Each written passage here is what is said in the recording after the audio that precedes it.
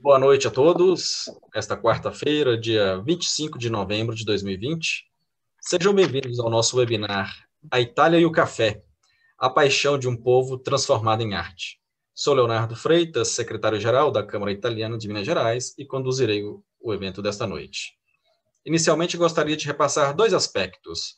Os microfones e as câmaras dos participantes ficarão desativados mas o chat ficará aberto durante toda a palestra, de forma que possam utilizar o chat para fazer observações e perguntas aos palestrantes. Nos próximos dias, enviaremos o link desse webinar para que possam revê-lo e compartilhá-lo com os vossos amigos e a vossa rede de relacionamento. Participem do chat. É muito importante a interação de todos.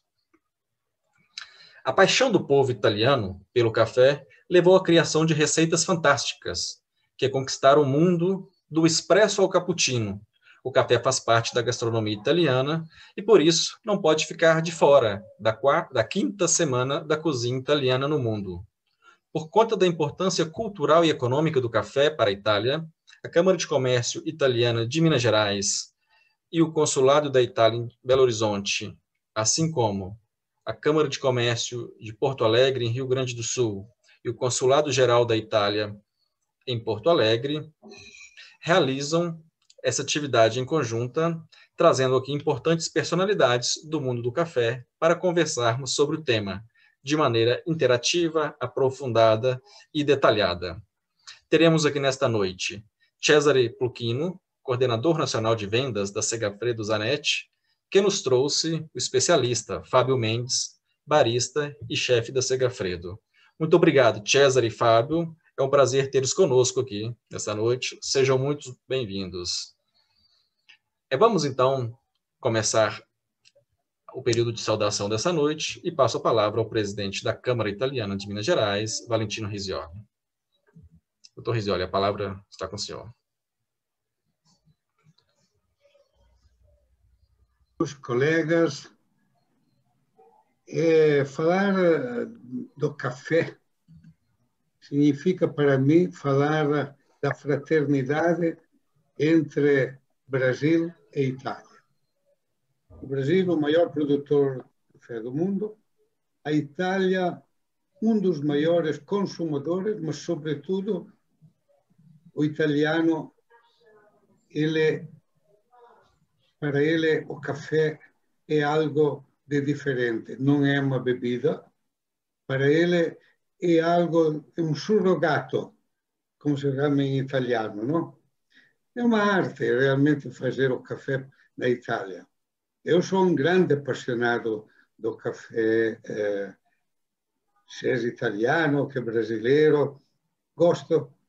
E, sobretudo, eh, vamos saber a história do café na Itália, não? Começou em Nápoles, os partenopéus, como sempre, em fato de arte, são sempre entre os primeiros da Itália, não? e depois foi subindo praticamente para toda a Itália, e sobretudo nas regiões do Vêneto, Lombardia e Piemonte, onde se encontram os grandes eh, torrefadores eh, dos cafés. O italiano chega detalhes que ele consegue distinguir um café quando ele tem uma mistura. Normalmente os cafés italianos têm uma mistura, 80%, 90% café brasileiro, e depois tem outros cafés para dar um gosto diferente de um do outro. Não? A maioria dos italianos consegue a percepção da diferença entre um mix e outro. Bom, mas agora não quero falar mais do café, porque aí eu falaria praticamente a noite inteira. Eu uh, gostaria de, uh, primeiramente, uh, saudar os nossos cônsul, o cônsul da Itália de Minas Gerais, Dario Savarese, e o cônsul geral de Rio Grande do Sul, Roberto Bertol. Muito obrigado pela colaboração que eh, os dois consulados nos estão dando. E, paralelamente, queria agradecer também à Câmara de Comércio do Rio Grande do Sul e deixar a palavra ao amigo Felipe Olindo para a sua mensagem. Até, Felipe. Boa noite a todos. É sempre muito difícil suceder o Valentino após ele se manifestar, porque o Valentino sempre dá a informação completa. E, e eu queria saudar o, o cônsul-geral Roberto Bortô, ao cônsul-geral de Belo Horizonte, o Dário, meu amigo, querido amigo, Valentino Rizzoli, sempre um grande parceiro, um grande líder das câmaras italianas no Brasil. Leonardo e Janice, muito obrigado pela oportunidade. Para nós é um prazer muito grande estarmos somando com a Câmara de, de Comércio Italiana de, de, Belo Horizonte, de Minas Gerais. Certeza que será um evento maravilhoso. Boa noite, vamos, vamos ao evento então. Um abraço a todos. Nesse momento, então, ouviremos a saudação do cônsul-geral da Itália em Porto Alegre, Roberto Bortò. Boa noite a todos. É claro que também para mim é um grandíssimo prazer eh, estar aqui com todos vocês, eh, participando a este lindíssimo e, sobretudo, original evento. Eh, perché a Italia o caffè, a paixão de, de um povo transformado em arte é o fogo, um dos fogos da Semana da Cozinha Italiana. Um, io non, non, posso che uh, agradecer e uh, saudare o mio queridissimo amigo uh, o console di Belo Horizonte, Dario Savarese, che da buon napoletano contribuì a organizzare questo evento sopra o Cartesigno. E também o presidente da Câmara, o Valentino Rizzoli, o meu queridissimo amigo e parceiro de sempre, eh, l'avvocato Olinto, de, o presidente da Câmara de Comércio de Rio Grande do Sul, e também a preciosa colaboradora Janice Rota, que sempre nos ajuda a fazer todo este maravilhoso evento de promoção de, da cultura italiana. Eh, não posso não esquecer a famosissima empresa Segraferi Zanetti, que é aqui presente appunto com o coordenador nacional de vendas, e também com o chefe experto da mesma empresa, Segafredo, Fabio Mendes. Uh, que dizer, bom, é falar de café é falar de paixão italiana. Toda a vida da Itália gira em torno ao café. Uh, toda e qualquer circunstância é motivo para um cafezinho ali na Itália. Uh, imagina que para ter uma ideia, os italianos costumam to tomar o café uh, de manhã no bar. Depois, no meio da manhã, vai de novo no bar per um outro cafezinho. É claro, eh, depois tem um cafezinho depois do almoço, que não pode faltar. E provavelmente um outro cafezinho no meio da tarde. E tem uma grandissima chance de ter um cafezinho também depois da janta. É, é um típico compromisso quotidiano eh, che rappresenta agora rappresenta un mito, una tradição, un'occasione di incontro, di fraternizzazione, di amizade, di commemorazione, di dialogo, di pequena e grande eh, gioia e felicità. Eh, acho que também a mais importante decisões eh, são presas mais na frente de um expresso que durante um, uma, uma janta ou uma reunião. Eh, por isso, non, no, io acho che non poderia ser escolhido un tema eh, melhor para esta manifestação, desta quinta, uh, quinta manifestação sobre a cozinha italiana. E uh, per o tipo di, uh, di referenza del povo italiano, per o caffè e, e per come è trattato, io acho che è una verdadeira arte. Um, aqui, é claro, não se pode esquecer alguém que no bar cotidianamente representa o verdadeiro artista, o verdadeiro herói do café, que é o barista. Ele com grandissima maestria, com técnica, com paixão, com gentileza, com simpatia, com alegria, eh, com incrível uh, rapidez e velocidade, a diferença um pouquinho aqui no Brasil, eh, cada dia oferece o seu, eh, o seu aficionado clientes, acompanhando sempre com um cordial saúdo, com uma fala, com uma piada, com um pequeno conto, eh, dezenas, eh, mais de dezenas de diferentes tipos de cafezinhos no mesmo tempo.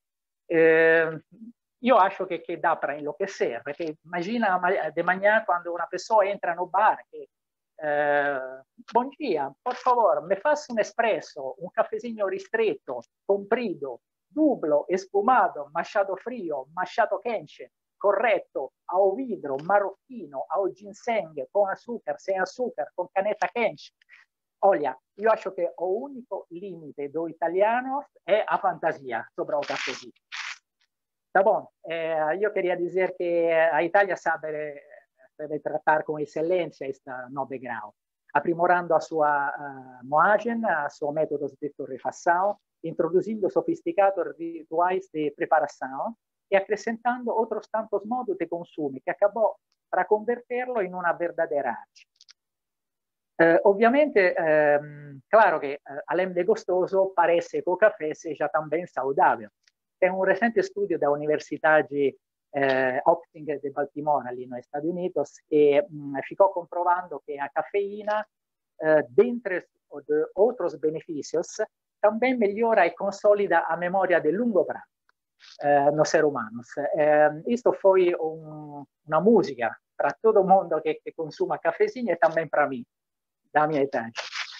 Além disso, eh, para mim o café é, é verdadeiro um bem para a alma, eh, faz bem ao humor, é a joia de viver. E, enfim, uh, não tenho dúvidas que, que este tipo de evento, este webinar, trará a todos uma grande contribuição para o conhecimento deste precioso e famoso item da cozinha italiana. Quindi desejo un fantastico e aromatico evento, se è possibile, e una buona notte a tutti. Muito obrigado. Muito obrigado, cônsul, doutor Bertô. E agora eu passo a palavra para o nosso cônsul da Itália em Belo Horizonte, Dário Savarese.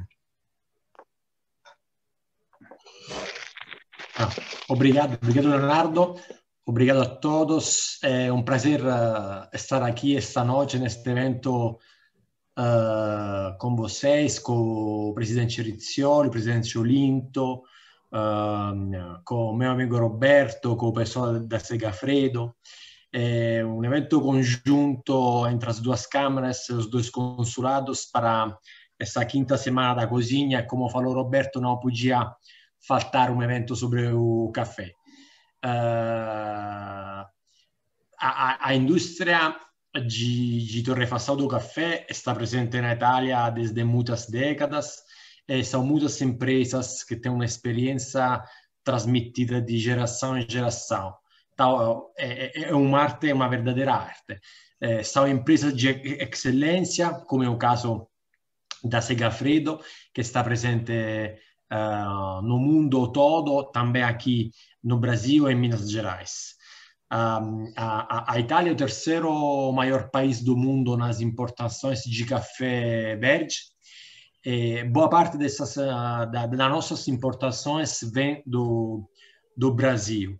E somos também o terceiro maior país do mundo uh, em volume de exportação de café em todas as suas formas. Uh, tem centenas de, de, empresas torrefadoras e de funcionários que trabalham. Então, é uma verdadeira uh, indústria.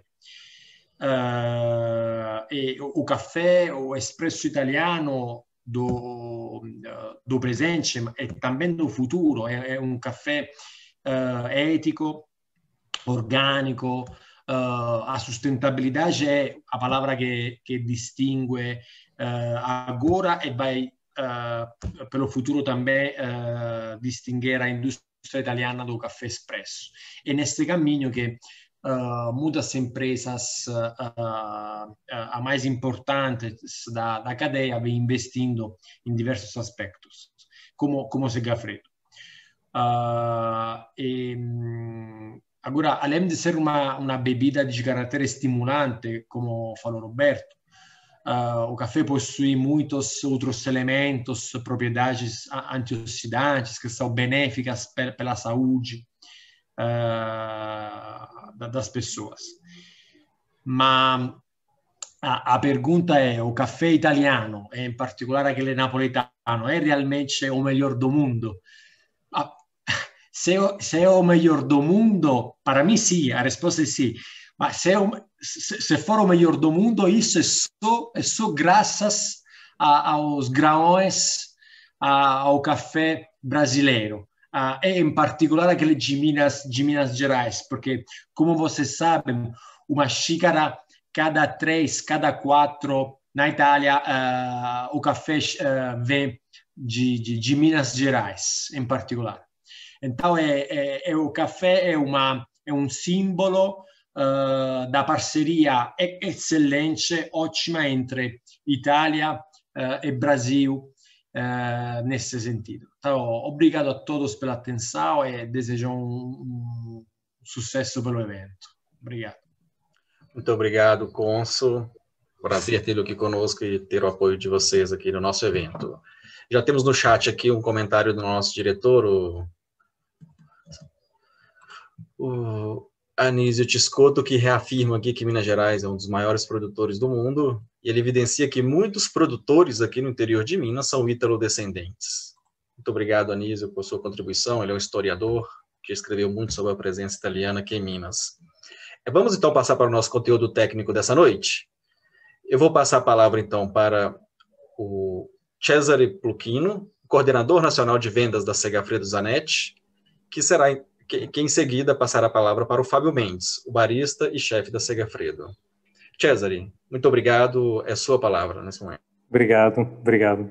Boa noite a todos. É, primeiramente, queria é, agradecer esse, esse convite da Câmara de Comércio de Minas Gerais e é uma grande oportunidade para falar de uma coisa maravilhosa que é o café, é introduzir a nossa empresa, o nosso trabalho, o trabalho da Sega Fredo Zanetti, é, não só na Itália, no Brasil, mas no mundo inteiro.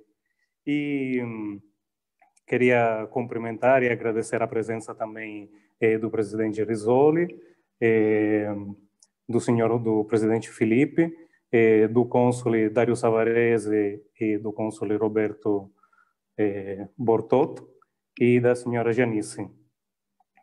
E, obviamente, a presença do nosso, do nosso barista, art, artista e com grande paixão, eh, o Fábio Mendes. Bom, eh, primeiramente queria é, falar um pouco da, da Segafredo, que é, nasceu e se desenvolveu em cima dessa palavra que é paixão, é a paixão pelo, pelo café. Isso nasceu é, muitos anos atrás na, na, na família do, do senhor Zanetti, do Máximo Zanetti, e o avô e o pai transmitiram essa essa paixão pelo pelo café. A família era uma família de comerciantes de café e o senhor Zanetti herdou essa essa paixão e levou para frente. E nos anos 70 adquiriu uma torrefação eh, na cidade de Bolonha, no norte da Itália, eh, que se chamava Segafredo.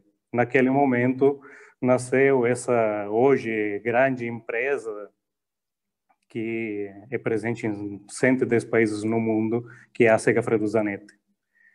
É, dos anos 70, é, passando para os anos 80 e 90, é, começou a expansão da, da empresa,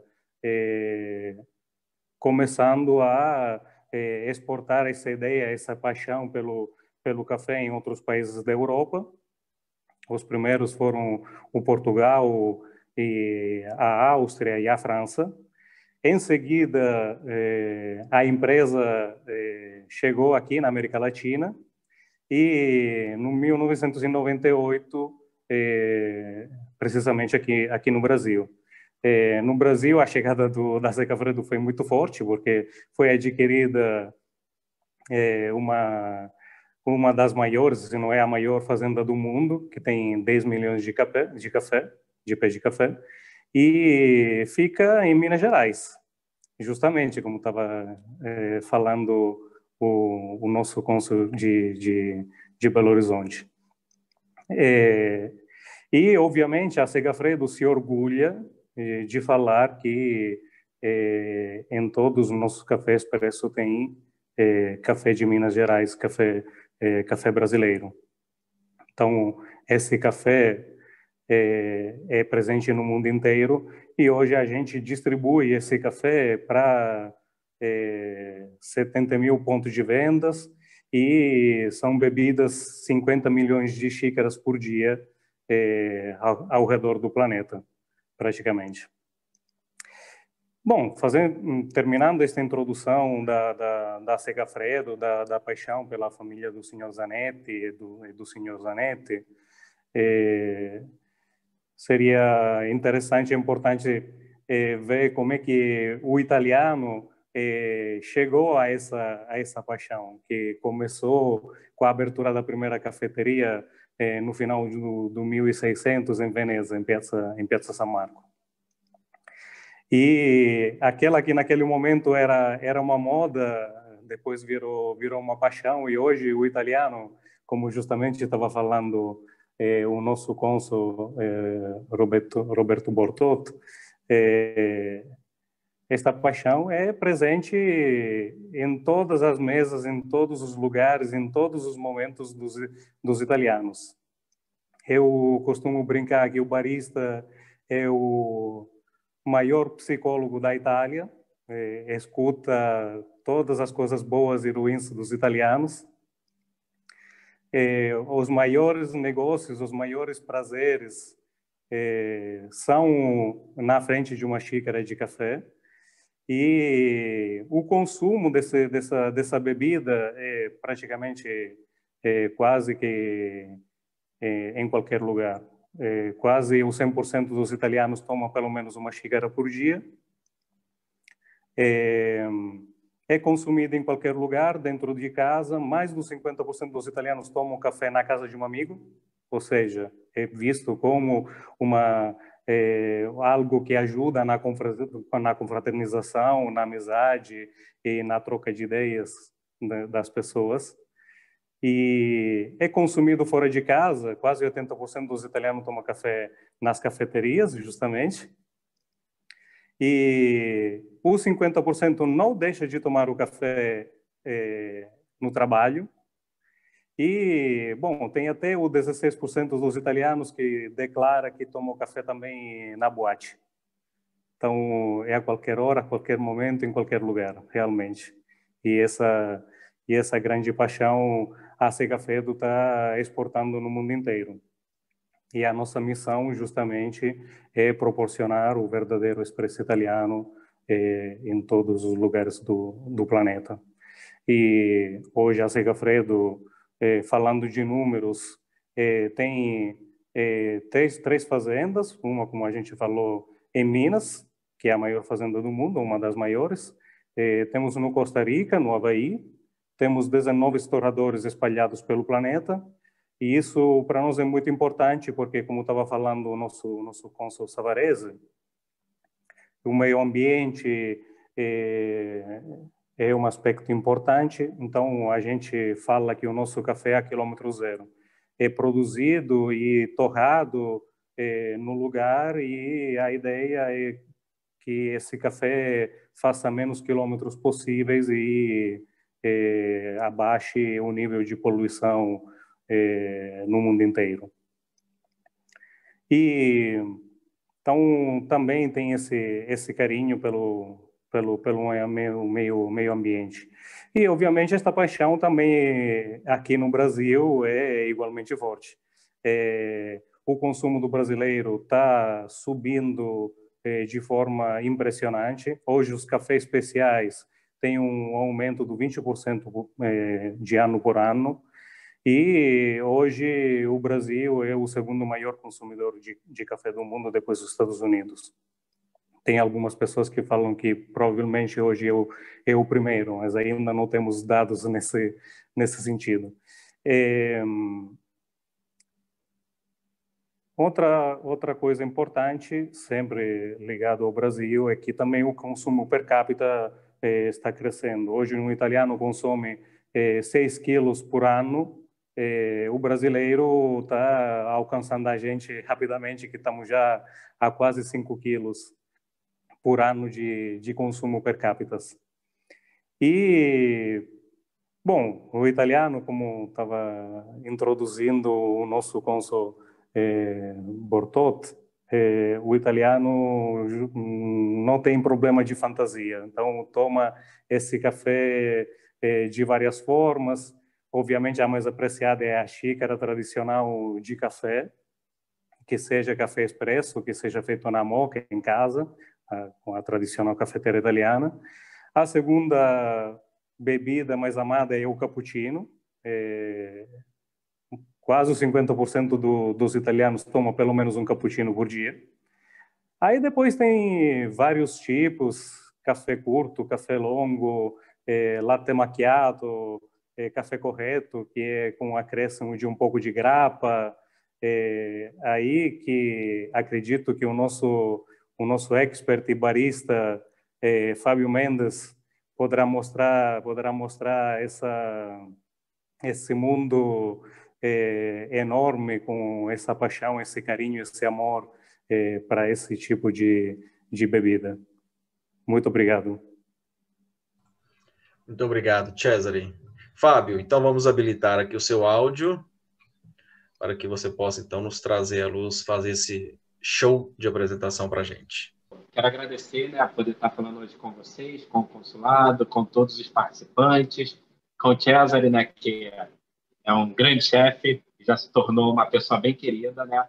E hoje eu vim mostrar para vocês um pouquinho é, do mundo do café, né? Um pouquinho da de técnica, um pouquinho do produto final. Né? E a gente está utilizando né? café da Sagafredo. Tenho o grande prazer de trabalhar com a Sagafredo há mais de 10 anos. Acho que já tem mais, bem mais do que isso.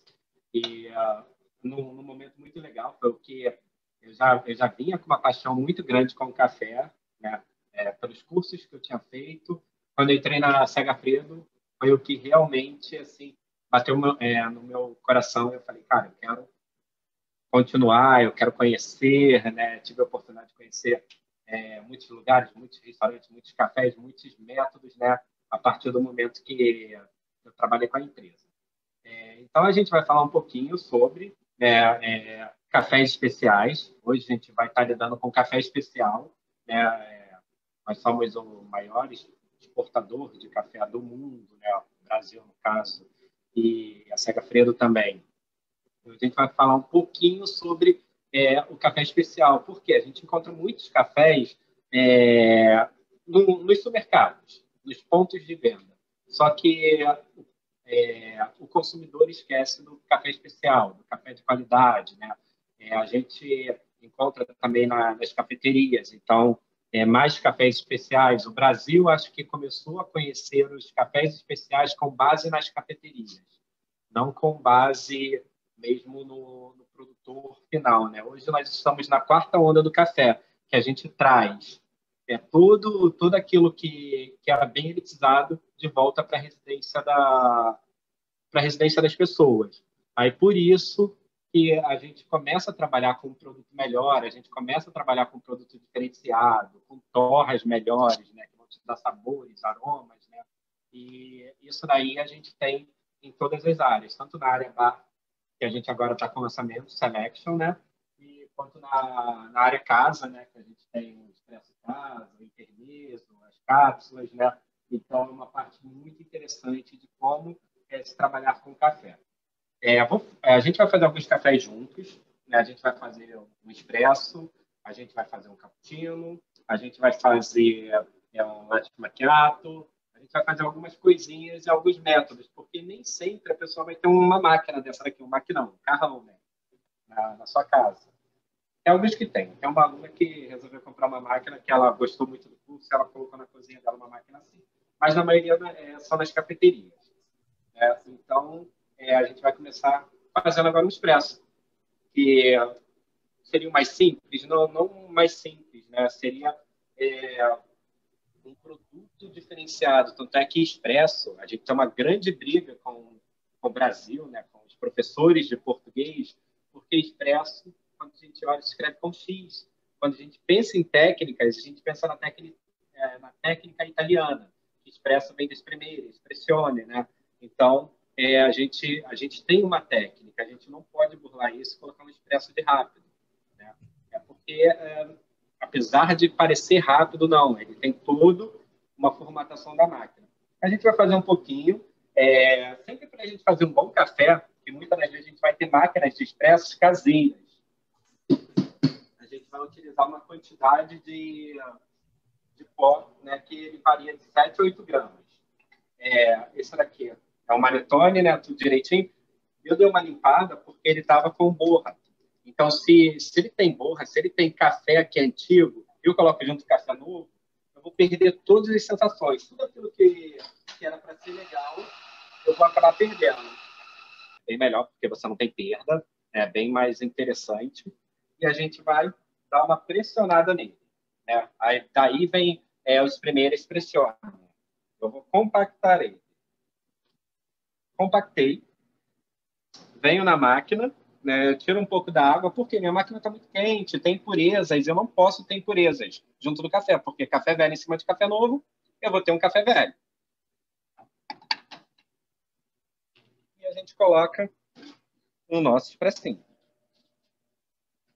Sempre muito bem regulado. É, o pó ele precisa estar tá numa, numa gramatura é, ideal para a temperatura da máquina, porque senão eu posso ter um café subextraído, um café super extraído. A subextração é quando eu não consigo tirar o melhor do café e eu tenho um café de baixa qualidade. A superextração é quando eu demoro muito a tirar esse café e ele queima, né? Então, é, eu acabo queimando os óleos essenciais, que é bom no café. Aí a gente tem o nosso expressinho, né? Que é, é um produto, acho que campeão de vendas a gente pode falar, eu como proprietário de cafeteria e amigos proprietários e profissional, né, esse daí é o, é o nosso campeão. Né? É, ele sempre vai necessitar ter essa crema em cima, né? esse creminho avelã, né? que é o que vai manter a temperatura dele, o que vai manter né, o sabor, o aroma, está tudo aí em cima. Uma coisa muito interessante, ah, vou tomar café na, na cafeteria, tomo café, assim, pego ele de uma vez? Não. A gente precisa oxigenar ele. Por que a gente precisa oxigenar ele? Porque a gente vai ter, é, a gente vai ter a, quando a gente mexe a crema, a gente vai ter a mistura dos sabores, né? Dos sabores do aroma. Então a gente vai ter um produto aí com uma qualidade é, a ser provada. Café sempre bom, né?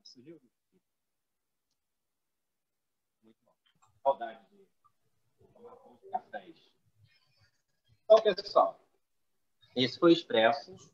Expresso é uma coisa assim bem básica e também bem complexa. Quando a gente pensa assim, ah, café com açúcar ou sem açúcar? Os europeus, principalmente os italianos, vão falar, ah, sem, totalmente sem açúcar. Sim, você, se você é, tira o açúcar, se você tira os mascaradores, açúcar, adoçante, tudo isso, você vai acabar sentindo os sabores, é, os aromas, né? as partes mais é, as partes mais sensíveis do café. Quando você coloca o açúcar, você mascara ele. É, eu tenho eu tenho uma visão assim, acho que café tem que ser bom. Eu acho que a vida é feita de bons cafés. Então, se você tem um bom café, você não precisa utilizar, utilizar açúcar. Mas também eu não sou de é, de um de um grupo que fala, ah, eu vou recriminar quem coloca quem coloca açúcar. Não, é, a gente precisa ter prazer. Né? Então, o café é aquele momento de prazer, aqueles cinco minutinhos que você para seu dia e toma um cafezinho e sente é, a melhor pessoa do mundo, que é aquele seu momento que você para de pensar nas coisas ou você começa a pensar nas coisas. Então, a gente fez um expresso, bem interessante. Aí agora eu vou fazer para vocês um maquiato. Maquiato é, é, um café que já se fala que é um café maquiado com leite, né? É uma maquiagem de leite. Ah, por que uma maquiagem de leite? Porque eu não coloco leite líquido dentro dele. Eu preciso colocar um leite aerado, né? Então, é, como é que é feita a aeração? A aeração é feita na máquina. Ou a gente consegue fazer também no mixer. Bagunça. A gente consegue fazer no mixer ou a gente consegue fazer em uma cremeira, que são é, utensílios. Ah, eu não tenho a máquina em casa. Tá, eu utilizo um mixer ou utilizo uma, uma cremeira. Eu aqueço um pouquinho é, o meu leite, não deixe ele ferver, porque quando a gente aquece o leite, nós quebramos as moléculas de. E quando nós vaporizamos o leite, nós quebramos as moléculas de açúcar e as moléculas de gordura. Por isso que ele fica cremoso, brilhoso e, e não vira espuma. Então, se eu fervo esse leite, eu acabo quebrando toda, toda essa parte química dele, né? Então, é, eu acabo deixando ele com amargor alto, com o cheiro, o cheiro, né? Direito fervido na panela. Então, só precisa aquecer ele um pouquinho para utilizar, é, para cremar ele. Vou fazer um na máquina e a gente faz também um na, um na cremeira, que é bem, é bem interessante, era bem facinho. A gente vai tirar um café novamente, né? Não esqueça, ó, sujeira. Não posso utilizar, colocar café velho em cima de café, café novo, em cima de café velho. É, não fica um café legal. A gente vai perder aí tudo que a gente conquistou. Esse moinho é bom, né? Porque ele moe sozinho. Lembra quando a gente começou? Era um moinho que tinha alavanca. Então a gente ficava batendo, fazia um barulho. Eu gosto bastante dele. Eu tenho em casa. Mas é, você acabava ter, é, tendo muita perda. Hoje, praticamente, eles já se tornaram obsoletos. Então, a gente tem poucos moinhos desses. Né? Então, a gente tem aí um trabalho bem melhor, nós temos é, bem menos perdas. Isso é muito bom para o empresário, né? pro, no caso, é, para os donos de cafeterias, que não pode, não pode haver perda. Então, quando a gente vai fazer um maquiato, a gente vai fazer um expresso, mas não um expresso longo. Né? A gente vai fazer é, um expresso normal, de 50, é, de 40 ml mais ou menos. Aqui no Brasil, a gente utiliza muito o expresso de 40 a 50 ml. Né? No, no resto do mundo, é, se utiliza o expresso é, a partir de, de é, até 30 ml. Né? Então, a gente tem o ristreto com 15 ml, nós temos é, o café curto, que seria o café normal para o europeu, de aproximadamente, é, aproximadamente 30 ml. Né? Vou vaporizar aqui o leite, para a gente ter uma, uma visãozinha na máquina. Será que é uma. Faz um pouquinho de barulho, mas nem tanto. Precisa sentir a temperatura temperatura, a temperatura da minha mão, ah, não estou mais não tô aguentando é, segurar esse, não estou aguentando manter minha mão. Não aguentei manter minha mão é porque ele já está bom. Se eu deixar part, é, passar disso, a gente acaba perdendo bastante. Se vocês verem, ele ficou um leite sem bolha, né? Ele ficou um leite que, que ganhou um brilho, né? O leite ele é mais opaco. Então a gente tem um, um cafezinho. Eu posso jogar ele aqui direto? Sim, posso pegar e jogar aqui ele direto. Só que aí ele vai virar um café com leite. Eu não quero isso, eu só quero a parte mais densa da minha crema. Então, a gente tem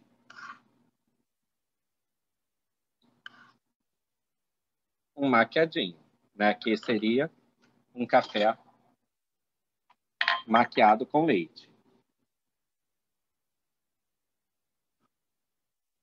Esse, esse café, quando você utiliza um leite de boa qualidade, é, o café ele perde um pouco da. Ele acaba se mascarando, né? Porque o leite ganha muita doçura. É, o nosso café ele, ele é um café equilibrado, né? mas ele tem um pouco mais de amargor, né? que, é, que é ideal. Assim, eu prefiro um café com mais amargor do que um café ácido. Assim, o Fábio prefere um café com mais amargor, com mais corpo, do que um café com acidez prolongada. A acidez prolongada acaba me decepcionando um pouco. Então, a gente tem o nosso maquiado, que é um café bem, café bem interessante aí para a gente utilizar no, no dia a dia. E a gente consegue fazer com a cremeira.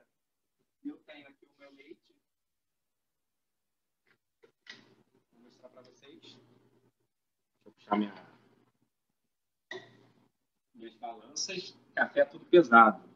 Então a gente precisa perder, é, pesar para não ter perda e para fazer a receita perfeita. Isso daí a gente aprende muito e eu acabei aprendendo mais ainda a partir do momento que eu virei chefe de cozinha. Que tudo precisa ter, ser pesado, que você não tem perda, tudo para você ter um produto de melhor qualidade. Então, ó, a gente tem aqui, ó, isso daqui é bem facinho. E é um produto bem baratinho. É uma cremeirazinha de plástico. A gente vai bater um pouquinho. Ele vai dar uma espumada.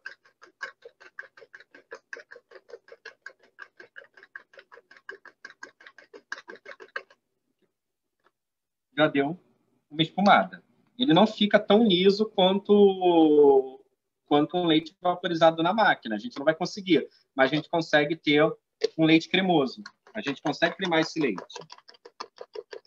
Aí, como a gente agora vai fazer em casa, né? Como é, nós estamos pensando em fazer em casa, na parte doméstica, a gente vai utilizar café moído, então a gente vai utilizar café coado. É, eu sempre gosto de fazer com a balança, a maioria não vai ter balança em casa, mas a gente pode utilizar uma colher de sopa de café, né? Então, a gente vai ter aqui, eu vou fazer um método, né, um método de, de coagem, é um método bem legal. Aqui é um, é um método japonês, mas que está sendo utilizado no mundo todo. A gente coloca um filtro, que é um filtro especial. Esse filtro aqui, a diferença dele é que ele é microporoso e, e, ele deixa passar os óleos essenciais do café. O filtro que a gente acaba encontrando por aí, ele não deixa passar os óleos essenciais. Se não passa os óleos essenciais, você não tem sabor, você não tem aroma. Então não adianta você ter um café com uma qualidade muito grande. É preciso queimar esse filtro. O que é queimar esse filtro? Colocar água quente. Primeiro, para aquecer minha xícara e segundo, para tirar o amido do, o amido do filtro. Vou dar, eu vou utilizar aqui o café em grão. Né? A gente pegou um pouquinho de café em grão, Selection. Aqui tem 15 gramas para a gente conseguir fazer uma xícara dessa. E eu vou dar uma moedinha nele. Vai fazer um pouquinho de barulho, mas é assim mesmo. Sobrou água aqui, a gente vem e descarta essa água. Para 15 gramas, é, eu utilizo é, 150 ml de, de água.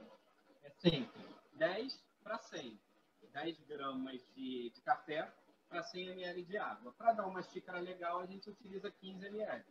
Aí que vocês derem uma olhada, ele vai estar tudo bem pesadinho aqui. Ó. A gente vai chegar junto. Esse daqui eu vou colocar um pouquinho, porque essa xícara é um pouquinho menor. Então, vou colocar um pouquinho a menos. Aqui a gente tem o nosso café moído, né, moído na hora. É muito importante a gente começar a pensar em qualidade. Então, eu posso ter um café para moer na hora? Sim, eu posso ter um café para moer na hora. É, e a gente tem aí um, os cafés de ótima qualidade. Tanto o Strong quanto, quanto o Selection aí a gente consegue trabalhar. Vou colocar aqui dentro. E agora a gente vai lentamente colocando água quente. Vou colocar água quente da máquina mesmo. Se for água quente que a gente vai fazer no fogão, ele não, a gente não vai deixar essa água ferver. Quando subir as bolinhas lá do fundo, a gente vai desligar. Então, ó, a gente vem lentamente, não posso pegar e não posso jogar água de uma vez. Eu venho lentamente trabalhando esse café. Vou colocar 100 ml de água, né, porque aqui tem 10 gramas, aproximadamente. Então, a gente vai entrar com 100 ml de água. Tá chegando, chegou, passou um pouquinho.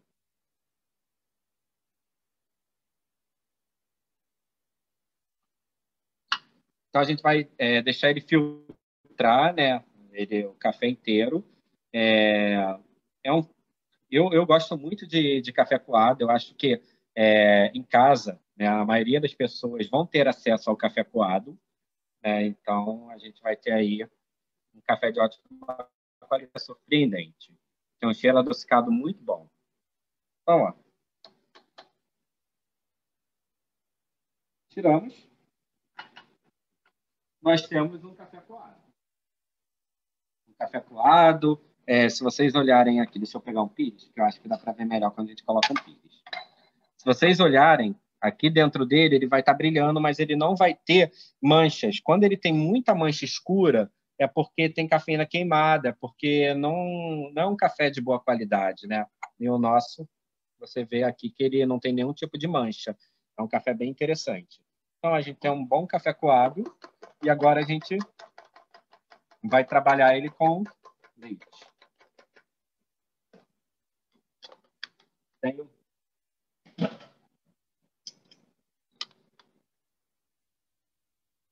Tem um leite que ele foi, ele foi batido, diferente do outro que foi vaporizado, mas vai me dar um produto bem legal. Então aí a gente tem um coado com leite, assim, como se fosse um maquiado. É, bem, bem próximo do que é do que a gente consegue numa cafeteria, também conseguimos fazer em casa. Hoje, é, o café é um produto muito democrático, né? então a gente vai ter um produto de uma qualidade muito boa. Então, maquiadinho com leite, bem interessante quando a gente for consumir. Dá uma mexidinha também. É sempre bom a gente mexer, porque senão eu vou ter. Primeiro eu vou beber o leite, depois eu bebo o café, né? E eu ainda continuo com a cremosidade aqui dele. Ó. Se você olhar em cima, ele tem uma cremosidade muito boa. Bem interessante. É... Esses são dois Fábio, que são Fábio Oi. ele fez uma pergunta aqui. Você deu a informação, mas na hora a, o áudio falhou. Você disse que o cafezinho ele tem quantos ml aqui no Brasil? Ah, o cafezinho no Brasil é, a gente vai ter a gente vai sempre colocar uma xícara cheia, né? Essa a xícara da Segafredo, que é basicamente as outras xícaras padrões, são de 60 ml. Então nós deixamos 10 ml de, de margem e a gente sempre coloca 50. É, no, no resto do mundo, na Itália principalmente, né? Da, é, a Itália é onde é, vieram, de onde vieram é, os métodos, né? Onde vieram as regras. Então você tem o ristreto, que ele tem 15 ml. Você tem o café comum, que aqui nós chamamos de curto, que ele é ele tem 30 ml. Na Itália se tem lugares que você chama o ristreto de curtíssimo, né? Bem bem pequenininho. É, a diferença é que a gente precisa, para manter um café de boa qualidade, principalmente numa cafeteria, nós precisamos regular isso daqui. Porque se a gente não regular é, o moinho para a quantidade de água, a gente tem um café muito ruim é, na América do Sul, no resto da América do Sul. A xícara deles é de 90 ml, então eles colocam 80 ml para a mesma quantidade de pó. Sempre numa máquina de café a gente vai ter 8 gramas. Sempre para a gente filtrar um café, nós vamos ter 10 gramas. Então, é, essa é a diferença. No Brasil, nós utilizamos um pouquinho mais de água e tentamos trabalhar com um moinho regulado para essa quantidade de água. É uma... Ah, entendi. Deu para entender? Ok, perfeito. Ah, show de bola. Então, a gente já tem dois cafezinhos aí que são líderes, né? E a gente agora vai entrar num terceiro café, que a gente, eu acho que todos falaram aí, né? Até do início ao fim, todo mundo falou no cappuccino, né? O cappuccino, é, existem algumas peculiaridades. Primeiro, que a gente precisa ter um, um bom café. Sempre um bom café a gente tem um bom café a partir do momento que nós seguimos, seguimos regras, né? Então, a gente segue uma regra de distração, segue, segue uma, regra, é, uma regra de torna, uma regra... Aí a gente vai ter um bom café e depois um bom leite. Tá? É, a diferença entre o cappuccino italiano, que aqui no Brasil nós chamamos de cappuccino italiano, na Itália apenas cappuccino, é porque é, no Brasil a gente acaba mascarando ele com especiarias, no caso canela, e cacau em pó, chocolate, né? Chocolate em pó. Tem que colocar chocolate em pó, pelo menos compre um chocolate de boa qualidade, porque existe uma coisa que o chocolate em pó ele dá reação com o café. É, tem chocolate em pó que ele, tem, ele é muito ácido, então o café fica borbulhando. Então comprem, colocar, comprem um, café de, é, um chocolate de qualidade também. É, esse é um cappuccino que a gente pode falar que é o cappuccino brasileiro a gente vai em vários lugares. Eu vou, eu vou lhe pedir é um favorzinho. É que, é que o, áudio, o, áudio, ficou ruim. É dê um passinho para frente e explique de novo essa diferença do cappuccino. Porque ah, o áudio sim. está. Vamos lá. É, a diferença entre o cappuccino italiano, que chamamos aqui no Brasil de cappuccino italiano, na Itália é apenas cappuccino. A diferença é que aqui no, no Brasil nós colocamos algum tipo de especiarias. Canela, né, que é a especiaria mais comum no Brasil. E a gente sempre coloca chocolate em pó, né? Aqui no meu café eu não utilizo, eu utilizo o cappuccino, é, o cappuccino histórico, né? Mas na maioria dos, é, das cafeterias a gente vai utilizar esse cappuccino é, abrasileirado. Por quê? É, se coloca canela e por que se coloca chocolate? Para a gente ganhar doçura, né? Que aí se ganha doçura, aí você quebra um pouco do amargor, né? Mas, assim, é, é bom, sim, é gostoso, mas nada melhor do que um, um tradicional, né? O tradicional, cappuccino. Então, a gente tem aí um, um produto é, modificado. É, na Itália, cappuccino nada mais é do que café e leite. Café com leite vaporizado, então você tem um, um leite de boa qualidade, um café de boa qualidade, você faz um cappuccino, né? Ah, da onde vem o cappuccino? Da onde vem a história do cappuccino? O cappuccino ele vem dos monges capuchinhos, né? É, que eles têm cabelo na lateral, que seria a auréola de café, né, marronzinho, e a careca em cima, que seria o leite, né, por eles serem bem branquinhos. Então, é, essa é a história, é uma das lendas contadas. É uma coisa muito interessante no café é que praticamente 100% do que se sabe sobre o café são lendas. Né? Ah, como o café foi introduzido no mundo? É uma lenda. Como o café chegou no, no Brasil? É uma lenda. Ah, como foi criado os drinks? São lendas. Mas são lendas muito bonitas. Assim, quando a gente começa a ler uma lenda, a ler outra lenda, a gente se apaixona e a gente vai procurando, buscando outras lendas. E essa lenda do, do Cappuccino é bem, é bem legal. Assim, é uma, é uma lenda bem bonita. É, cappuccino também, ele tem um tamanho, né? A gente utiliza a xícara de, de café, existem também diferenças entre xícaras, né? Aqui você tem uma xícara de expresso, aqui você tem uma xícara de café, e você pode ter uma xícara de chá. Essa aqui não, não é uma xícara de chá, é uma canequinha, mas ela é maior, ela tem a quantidade de uma xícara de chá. Né? Então, a gente tem uma xícara de chá aí. É, a gente vai utilizar 8 gramas né, de, de café e a gente vai utilizar leite. Então, vou fazer novamente. Aqui, ó. Aqui você tem um cakezinho. Baixar um papelzinho aqui para a gente mostrar como é que sai o cake quando o café está bem regulado. Aqui. Ele precisa sair como se fosse um bolinho. Ele não pode se desmanchar. Você pode pegar ele, ó, que ele não, ele não quebra. Né? Então, aqui você tem um café bem regulado. Se ele sair com muita água, se ele sair desmanchando, é porque você tem um café mal regulado um café com que houve algum erro é, de operação na máquina de café. Então a gente vai ter um cakezinho aqui bem legal. Aí a gente não pode esquecer de dar uma limpada. É porque a, a cafeteria é mais usual para trabalho, não para fazer live, porque a gente deixa algumas coisas assim que são regras, né? Perto do moinho, com batedor de borra, né? Então a gente sempre tem que olhar para trás uma coisa que, que eu acho muito interessante para quem for empreender numa cafeteria é deixar a máquina sempre de lado. Porque você está fazendo café, o cliente está vendo e a sua máquina precisa estar tá limpa, claro, né? que aí mostra mais higiene. O cliente está vendo e você pode conversar com o cliente. Eu acho muito frustrante quando você tem uma máquina disposta para o cliente, porque o cliente não está vendo nada, o cliente não, não agrega, né? Você não tem aquela visão de, de poder ter um tempo com o cliente, aquele tempo, aqueles 30 segundos que você pode é, conquistar uma pessoa com bons cafés. Outra coisa bem, bem ruim assim que a gente, que eu acho, é colocar a máquina atrás, porque se você coloca atrás, você está disposta. E nunca é, nunca é legal você dar as costas para alguém, principalmente quando você quer agregar, né? Agregar felicidade, que é isso que o café traz. Então, vamos fazer um cappuccino. É uma pergunta, então, que eu quero lhe fazer.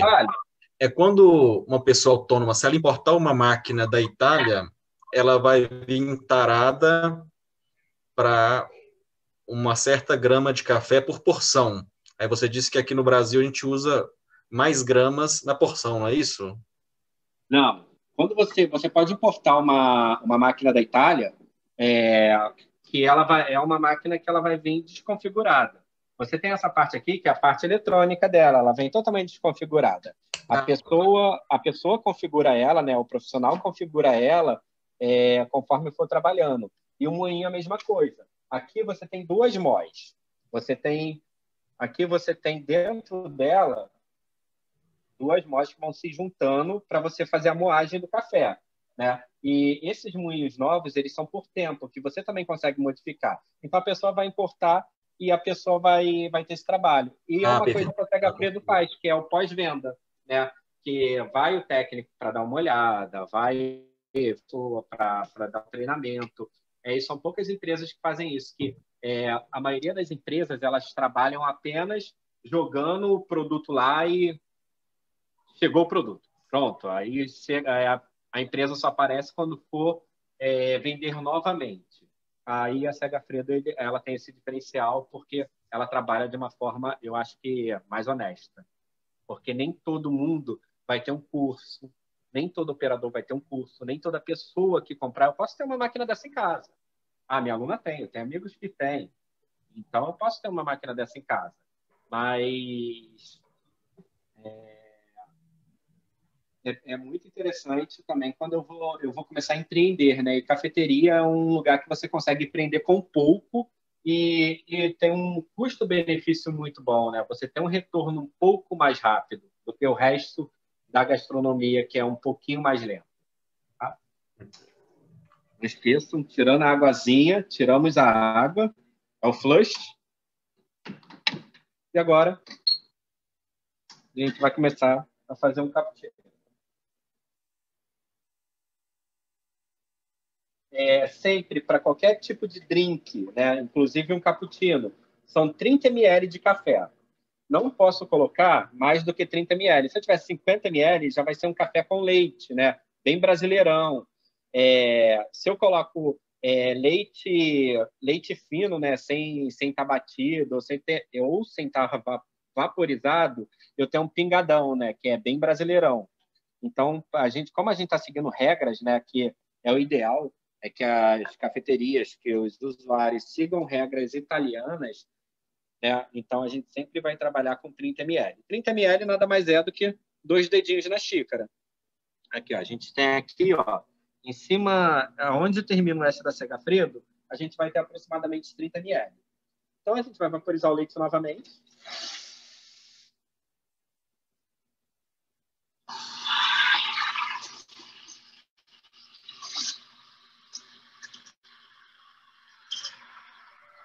Há uma coisa muito importante. É, é importantíssimo. Né? Se a gente tiver... Vamos supor que fomos no shopping hoje né, os shoppings reabriram, né, fomos no shopping. E onde eu morava, né, uma outra parte do Rio de Janeiro, é, tinha um shopping que tinha uma cafeteria no primeiro piso.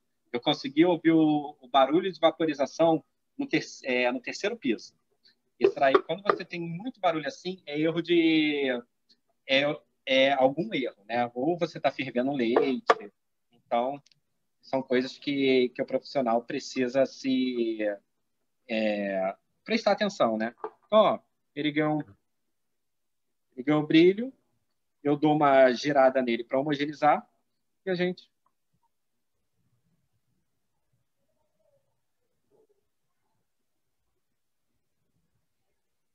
Então temos aqui cappuccino, né? A auréola de café, que seria o cabelo do, dos monges, e a gente tem a bola, que seria o topo da cabeça. Né? Então, a gente tem um cappuccino, é, você precisa ter é, cremosidade nele. Então, ó, você tem cremosidade. Consigo fazer em casa? Sim, também consigo fazer em casa. Eu consigo tirar é, um café com café expresso, né? Na minha eu tenho várias máquinas que a gente consegue, tem moedorzinho, ou, ou em máquinas é, de cafés encapsulados. Hoje a Sanga Frita também trabalha com, com cápsulas, né? Que é bem interessante. E a gente pode bater o leite no, no mixer ou bater no aerotino. No mixer, é a minha tomada está muito longe, eu não vou conseguir fazer no mixer. A gente vai fazer assim no mixer. Vamos pôr aqui, pegar esse potinho aqui. Então, ó, a gente vai pegar o mixer e a gente não vai colocar ele lá no fundo a gente vai colocar ele assim, ó. A gente vai precisar colocar ele mais leite, por quê? Eu vou colocar ele viradinho um pouco para cima. Se eu virar ele assim e eu vou apertando ele, ele vai fazer o leite girar. Se eu coloco lá no fundo, ele vai fazer o leite pular. Se eu faço o leite pular, eu não vou conseguir cremosidade.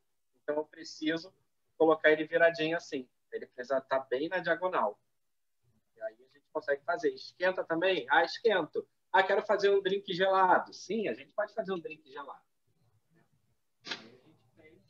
vários tipos de processo. No chat aqui estão te, perguntando aonde você tem sua cafeteria. Ah, minha cafeteria, ela fica aqui no Recreio dos Bandeirantes, né, na Nelson Tarquino 150. É uma loja de bike e de bikes de competição e um café anexo. A gente tem ali, ó, a gente tem um, uma Bianchi ali em cima, que ela é bem legal, é uma é uma bicicleta aí que a gente tem na nossa coleção. É uma Bianchi, uma italianona. A gente tem umas camisas né, da, do Giro de Itália, algumas coisas assim que a gente gosta aí, que a gente tem há, bastante tempo. Tinha uma da Sega Frio, só que eu não consegui encontrar, que ficava num quadro, só que a gente desenquadrou ela porque a gente vai fazer uma reforma. Mas tinha uma do, do Giro de Itália. Aquela dali é uma feminina do Giro de Itália. Foi um dos clientes que foi fazer o Giro de Itália que trouxe para gente. Ela está toda assinada pelo time feminino. Bem legal. Joia. É... Então é isso aí. Fica no Recreio Rio de Janeiro. Quem quiser aparecer aí, vem tomar um café comigo. É... Pessoal, agora a gente vai fazer é... um latte. Né? O latte é legal porque ele... a gente tem um degradê. Eu acho um café bem bonito. A partir do momento que a gente tem um degradê bem bonitão nele. É... O que é um degradê? Eu vou ter leite, eu vou ter café. Eu posso até fazer num copão. Eu acho mais interessante que latte tem que ser num copão, que eu acho mais legal. Mas a gente pode fazer também na canequinha. Né? É, posso fazer numa xícara branca? Sim, só que ele não vai ficar tão bonito. Ele vai parecer um cappuccino, ele vai parecer um café com leite. Né? No latte, nada mais é do que leite com menos café. É a diferença do, do maquiato, que é um café maquiado com leite. Aqui você vai maquiar o leite com café. Né? É, o, o, é, o leite com um pouquinho de café. Então, a gente, aqui nesse copão aqui, eu tenho 250 ml. Então, vou colocar 200 ml de leite para 30 de café. O maquiato eu vou ter é, de 30 a 40 ml de, de leite, é, de café, para 10 ml de, de leite, né? da parte bem cremosa. Posso fazer ele de dois jeitos. Posso fazer ele com o nosso leite batido e posso fazer ele com, na nossa máquina. Aí vocês sabem também que é possível cozinhar com café? É bem legal. Alguns anos atrás, quando eu estava me formando na faculdade, eu peguei, é, eu peguei um projeto de gastronomia com café. Aí eu tive até o apoio, na época eu já trabalhava na, na Frido, né? Eu tive apoio, a gente levou, então a gente é, cozinhou com, com café. Nós cozinhamos com Sega Frido lá. Eu fiz risoto, é, que é um prato tradicionalíssimo né, de vocês, né? É um dos meus preferidos. Aprendi a fazer risoto com num restaurante apenas de risoto no sul do país.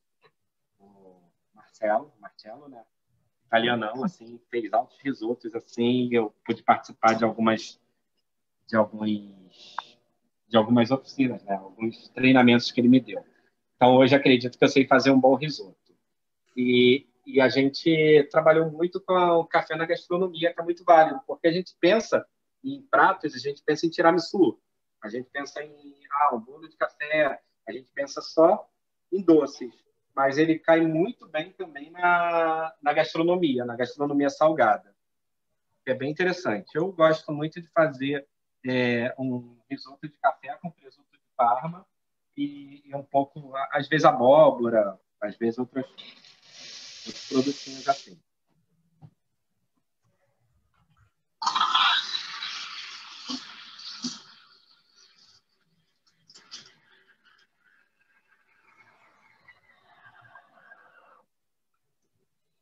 Pronto. Vaporizei. Ele ganha uma cor. Vem aqui com leite. Posso colocar o café no fundo? Também posso. Também dá. E vem aqui lentamente com, com o café para perfurar esse leite. Aí é onde eu começo meu degradê. Eu acho ele lindo. É um, hum. é um grande latte aí que é, que é maravilhoso. E a gente consegue fazer isso também com leite batido. A gente já tinha um pouquinho de leite batido. Né? Acho que vou colocar no outro copo para a gente ver a diferença.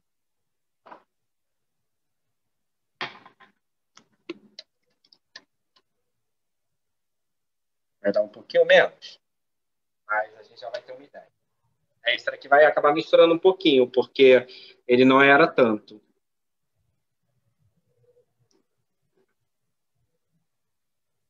Imagina tem um latte também. Para quem for fazer um, um latte coado, né, com café coado.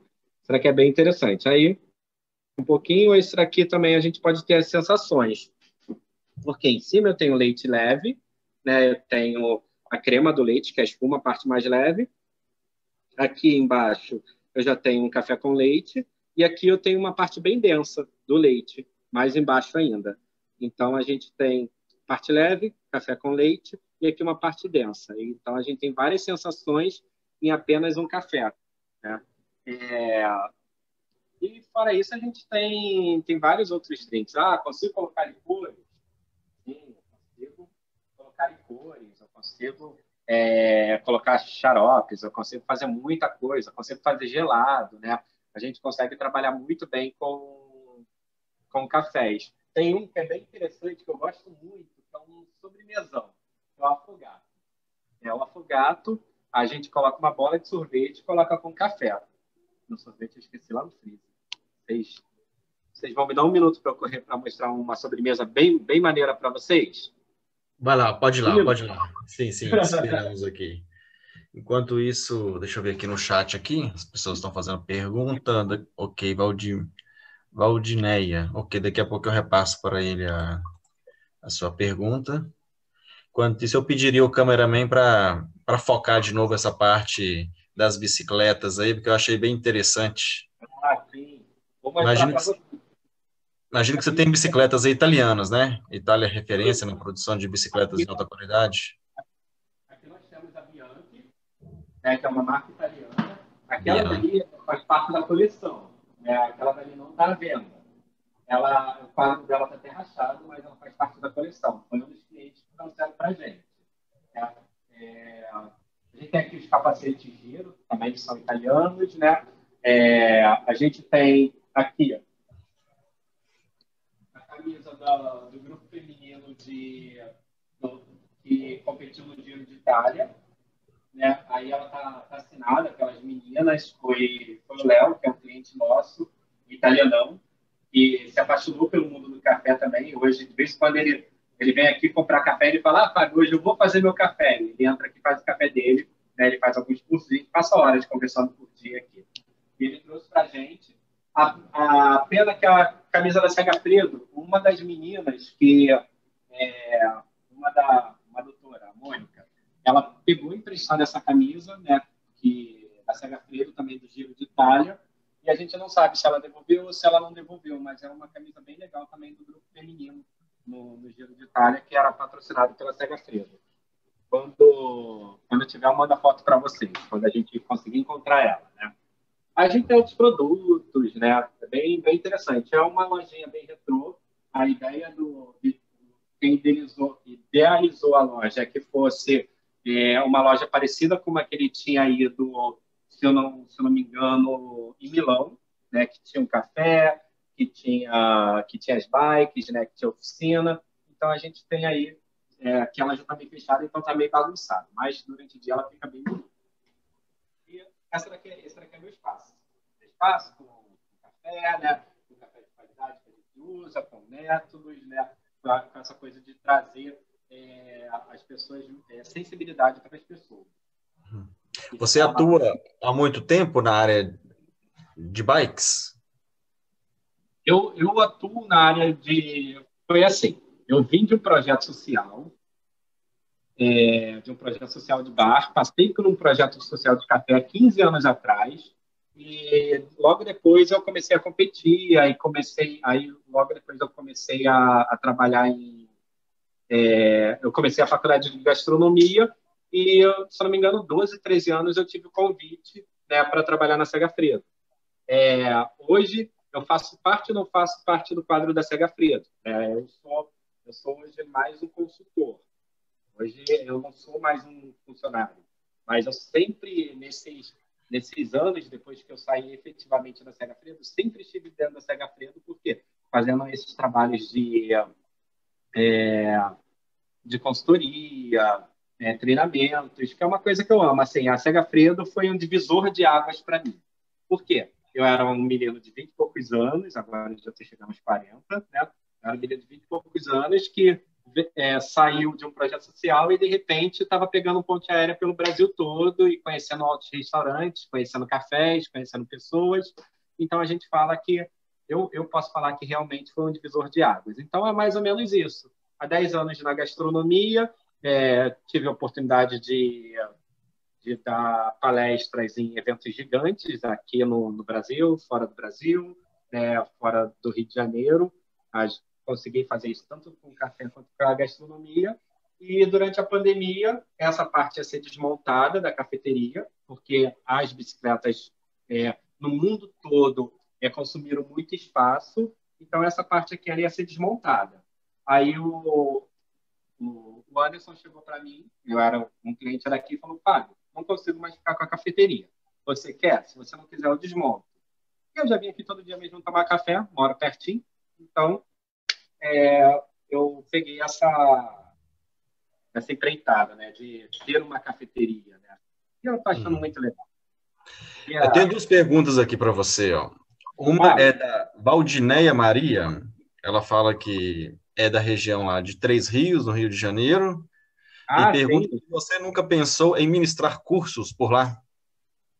Sim, o que que acontece? Em três, em três rios, três rios, Paraíba do Sul, toda aquela área lá que eu tenho grandes amigos, é, eu já ministrei cursos de gastronomia, não cursos de café. É porque ainda é uma coisa assim bem, bem difícil. Você e, é, Três Rios, apesar de ser gigante, ainda não tem um público tão grande para isso. Eu já tentei levar é, algum curso da área, né? Mas ainda é, é um mercado bem fechado, um mercado de interior, assim, é, Três Rios pra, provavelmente vocês não conheçam, né? Mas ele já está praticamente caindo em Minas Gerais. Você ele está mais perto de Minas Gerais do que do que do Rio de Janeiro. Mas é uma área também que a gente pode falar que é uma área pioneira, né? Você está ali do é, no Alto Paraíba, né? Você está ali na, na parte de onde chegou o café, depois que o café saiu daqui do centro do Rio, Botafogo, Floresta da Tijuca, ele foi para lá antes de chegar em outros estados, né? Então, ali é uma área bem, bem legal. E, e agora a cidade adjacente, que é Paraíba do Sul, é, voltou para a Rota do Café, né? voltou a, a ter o nome de Cidade do Café. E eu tenho muita vontade mesmo de fazer algum, nem não, não digo um curso, porque demanda muito tempo, mas umas palestras, um evento de café, isso daí, é, eu tenho vontade de, jogar isso daí para frente, como eu já fiz em vários outros lugares. Então, nos próximos dias, a gente vai mandar os seus dados para a Valdineia, que quem sabe ela não entra em contato e começa a articular contigo. É, temos aqui outra pergunta do nosso cônsul aqui de Belo Horizonte, o Dário. Ele pergunta, Fábio, é, o que você acha do café com álcool? Por exemplo, o, por exemplo, o sambuca, anice e outros. Ah, sim. Não, acho muito interessante. Eu acho que quando você coloca álcool no café, dependendo do tipo de álcool, ou você coloca um bom licor, né? É, eu, já, eu já fiz com limoncello. Limoncello é bem, é bem gostoso, assim. Ou você coloca um bom licor, ou você coloca uma boa cachaça, ou você coloca é, vários tipos de bebida, mas tem que ser um produto de qualidade. Né? Você não consegue pegar um café de, de, alta qualidade e colocar uma bebida de baixa qualidade, porque você vai ganhar um, uma distringência, você vai ganhar um residual muito ruim. Mas, mas tem bastante. Na minha na minha carta de drinks, eu tenho a caipirinha de café. Eu sei que é bem brasileirona, né? Mas eu faço ela diferente. É, por quê? Quando sai da torra, né, eu consigo com alguns amigos meus, isso daqui, ó. Isso daqui é a película prateada do café, que sai na máquina de torra. Aí dá para fazer um chá. Aí eu faço um chá e faço é, com café. Então, o café a gente se usa em muitas é, em muitas fases, né? Eu já, eu já tive em regiões, em Minas Gerais, que se, é, a polpa do, do café, o fruto do café, faz suco, né? Em alguns, em alguns cafés, assim. É bem interessante. Aí agora a gente passou a utilizar, né? É, essa película, o café mesmo em si. Então a gente tem produtos muito, é, a gente tem cafés alcoólicos muito bons, né? E eu acho que tudo é experiência, tudo é quantidade. Ah, a gente tem a regra de 30 ml de café. é, para você fazer um drink, mas às vezes o café não suporta isso. Né? É, o café, o drink não vai suportar 30 ml, então você faz com ristreto, faz com 15. Às vezes ele vai precisar de um pouco mais, né? É, então, a café com isca, ele precisa de um pouco mais de café, que aí já não seria nenhum expresso, seria um café coado, né? Seria um café na moca. Originalmente, o Irish Coffee ele é feito na moca. Tinha até uma moca que eu esqueci em casa. Eu fiz uma, hum. Ela virou um abajur. É, bem, Você vai, é, vai nos apresentar é mais um café? Isso, eu vou fazer agora um, um afogado, que é um café e uma sobremesa, né? É, depende muito do restaurante. É, na Europa se diz que ele é mais um café, aqui no Brasil ele é mais uma sobremesa.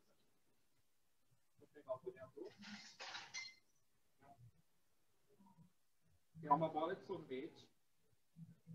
Uma bola de sorvete, ok. Esse daqui é legal. Gosto bastante. A gente coloca uma bola de sorvete.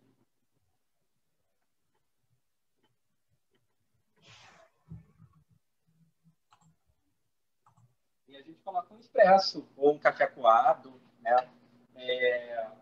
Aqui no Brasil, se coloca calda para a gente fazer um afogado. A galerinha coloca um pouquinho de, de calda, mas eu sou muito tradicionalista.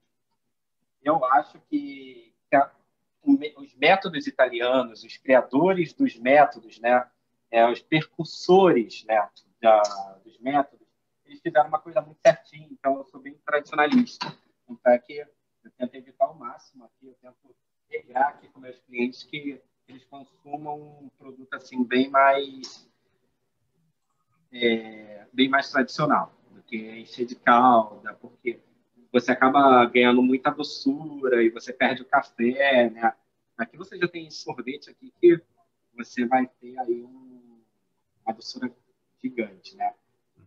Nesse que você está preparando agora, é, colocar açúcar no café é totalmente dispensável, então, porque já tem um. Ah, sim, esse daqui principalmente. Esse daqui é uma coisa assim, bem. Essa versão aqui é uma coisa mais mineira aí da terra de vocês, porque eu estou utilizando um sorvete de doce de leite. Originalmente se usa é, um sorvete de. É, um sorvete de baunilha. Só que ah. baunilha no Rio de Janeiro é difícil demais de encontrar aí a gente encontra creme. Só que creme não é tão legal. Né? Eu não sou muito fã de sorvete de creme com café. Então, é, eu achei essa gelateria, né, que é, são, são sorvetes aqui, ó, o sorvete subindo. Essa aqui é a mágica maravilhosa. Você deixa um pouquinho, o sorvete some e ele desce. Aí, se come ele com colher, né, então você começa a comer ele com colher e depois você bebe o café não vou comer ele com colher e não vou beber o café porque uma pessoa diabética não pode comer sorvete. Então, ok. Nós temos, temos no chat aqui. Uma... no meio da live aí vai ser meio difícil. Okay. É, temos aqui no chat uma pergunta para você. É, qual a diferença entre o café especial e o gourmet? Café especial e gourmet? É, a diferença é que o café gourmet, na maioria das vezes, eles são blendados. Então, você tem um, um blend de café. Você tem... É, existem duas espécies, né? Que seria o Conilon e seria o, o Arábica. Então, um café gourmet, ele acaba levando aí um, aproximadamente 30%, né? Antes, o especial era o especial era um café que levava 15% de conilon também. Hoje já não, hoje mudou um pouquinho. Então, o café especial hoje ele é 100% arábica. Né? Antes tinha, ah, o café 100% arábica é uma coisa especial, outra gourmet é outra. É, existe muito essa, essa diferença entre cafés. Assim, quanto mais conilon você coloca, para que o conilon? Primeiro que você barateia o seu produto, né? Você vai baratear a produção. Segundo, que você vai lançar é o equilíbrio de amargor, porque é diferente do arábica que você tem muita doçura, Conilon você tem, é, você tem apenas amargor, você quase não tem doçura. Então você acaba blendando e é onde você. Meu cameraman está tomando afogado. Que coisa, né? É, então você acaba. É, você acaba blendando, assim, então você vai ter um pouco mais de, de amargor né, no café. É, na, maioria, na maioria dos países do mundo, vai se prezar mais café pelo amargor. Né? Vai se prezar mais é, café pelo corpo, né? cafés mais encorpados, cafés muito doces. Ah, eu sou fã de café muito doce. Sim, existem os cafés maravilhosos. Mas, assim, eu acho que você precisa de um equilíbrio. E, e o mundo é feito para todos os tipos de, de pessoas e para todos os tipos de gosto. Então, eu vou ter é, pessoas que vão gostar de um, pessoas que vão gostar de outro, países que vão gostar de gourmets, países que vão gostar de café especial. É, o mundo todo, né, assim, a Europa, ela já, ela já tem um equilíbrio bem maior do que os países subdesenvolvidos. Eu coloco aqui o Brasil, eu coloco a Argentina, Peru, né, outros países. Ah, uma coisa legal que eu vi no Peru é, é que eles estão forçando as pessoas a não utilizarem açúcar. Então você tem que comprar o açúcar também. Você compra o café e o açúcar. Isso é muito legal assim.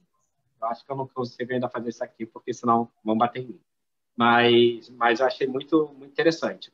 Então, é, é, apesar da gente ser ah, um grande produtor, né? Então a gente ainda tem algumas é, algumas partes assim que, que quebram, né? Na, nessa parte do consumo do café. Por isso que nós somos o maior produtor, o maior consumidor. A Itália ela, ela ultrapassa o nosso é, o nosso padrão de consumo, né? E o padrão de, de cafés melhorados. É muito triste quando a gente chega aqui, ó, um café, um café melhorado. A gente tem o Intermesa, que é um café bem legal, toma ele todo dia de manhã. Expresso Casa, né, bem, bem interessante também. A gente tem esses cafés, a gente tem os cafés que eles são mais difíceis de se tomar, porque são cafés assim com qualidade melhor. Esse café fica há séculos na, na prateleira, por quê? É, não tem, aqui no Brasil não tem tanto apelo, né? não tem tanto apelo contra, contra as outras marcas mais baratas. Mas quando a gente passa a tomar café de qualidade melhor, que a gente passa a tomar café com qualidade melhor, como o Selection, que chegou agora para ser uma opção do, do Strong, né, da embalagem vermelha, que antes a Cega Fredo tinha a embalagem vermelha lá, o Strong, que é muito bem aceito. Então a gente tem o Selection, que é um café bem legal, a embalagem está por aí em algum lugar, eu não vou lembrar. A gente tem um café de qualidade aí bem, bem interessante, assim. Então são nuances nem todo cliente vai gostar de um, Selection, nem todo cliente vai gostar de um, Strong. É, nem todo cliente vai gostar do Permiso, nem do Expresso Casa. Aqui eu tenho mais amargor, aqui eu tenho um café mais, mais suave, eu tenho um café, é, um café é, mais adocicado. Aqui eu tenho um café mais equilibrado. O Strong é um café com amargor mais alto. Então, é essa a diferença. Uhum. A Valdinei tinha, tava, apenas perguntou aqui agora qual café você indica para fazer em casa, então acho que com essa explicação sua das diferenças dos sabores e intensidades, a melhor resposta para ela seja conforme o paladar, não é isso? Isso. Eu acho que cada um tem seu paladar, assim, é, cada um vai, vai, vai pensar, vai prezar por um café, sendo de qualidade, a gente pensando em trabalhar com cafés de qualidade, como eu falei lá no início, a vida é, já é tão complicada para você acordar de manhã e beber um café de má qualidade, então não tem porquê, né? Então você precisa ter um café de boa qualidade, você precisa ter uma água na temperatura, você precisa é, ter o seu método do coração. Ah, eu gosto muito de tomar café expresso de manhã. Eu tomo café expresso, eu chego aqui na loja, a primeira coisa, o primeiro café é meu, né? E os, e os outros cafés também durante o dia. É, mas tem gente que prefere um café coado né, que eu acho também muito interessante. É a volta do café coado no mundo, porque não é uma coisa só da volta do café coado no Brasil. A volta do café coado está tá acontecendo no mundo todo, porque ele vem da quarta onda, que é você acabar um pouco com, a, com glamour, né, e trazer esse glamour para dentro da casa do cliente. Por isso que a gente está trabalhando com produtos também de, de ótima qualidade. Por quê? Esse mesmo café que você pode ter aqui, você pode ter na casa do cliente. Ah, é, será que se eu usar café em grão é diferente de um café moído? Sim, é diferente. Aqui você tem é, um produto mais preservado. Aí você vai precisar de um moinho. Né? Ah, você tem um moinhozinho para café moído? Sim, eu posso ter um, café, um moinhozinho para café moído. Mas eu posso ter um de mão, que é bem baratinho, custa 100 reais, né? E, e eu vou ter café sempre de qualidade, né? É, tentar não deixar o café na luz, tentar guardar ele direitinho, embalagem tampada, né? Aqui, ó, meu café ele fica dentro desse pote, né? Ele é bem fechadão, não entra luz e não entra ar. Então, todo café aberto que sobra no pacote, ele vem para esse pote. A gente pode, claro, ter um pacote, um pote mais bonitinho, porque a gente vai estar em casa, a gente vai ter menos, uma menor quantidade de café. É, uhum. E sempre a gente, ah, posso tomar café na xícara ou no copo? Aí fica a critério de vocês. É. Eu gosto tá. de café na xícara porque eu acho que mantém a temperatura, eu acho que é, é, aquele momento de você sentar e aquele momento de você apreciar. Mas eu posso ter um café no copo, normal. Posso tomar um café no copo assim e achar é, a coisa mais maravilhosa do mundo. Isso daí é, é, indifere muito. É muito pessoal. Joia. Vou lhe fazer uma última pergunta, para a gente não se alongar muito nessa noite, porque o tema é interessante e o universo é enorme, pelo visto. É, temos a Cláudia aqui que pergunta sobre os benefícios do café para a saúde, né? No que toca a benefícios cardíacos e neurológicos que já estão sendo observados. O que você pode dizer a respeito? Ah, sim, viu? Se tiver algum dos meus chefes nutricionistas, vão bater em mim. Mas o que, que acontece? Sim, está sendo comprovado que é, o café é feito, é feito ovo, né? Que uma hora ele é bom, outra hora ele é mau. Né? Então, é, sempre vai ter isso daí. Mas diz né, as pesquisas que você tem um maior, é uma, uma maior concentração né, devido à cafeína, porque se você é, é, consome a cafeína, o café, o café expresso, ele vai ter aproximadamente de qualidade 30% de cafeína.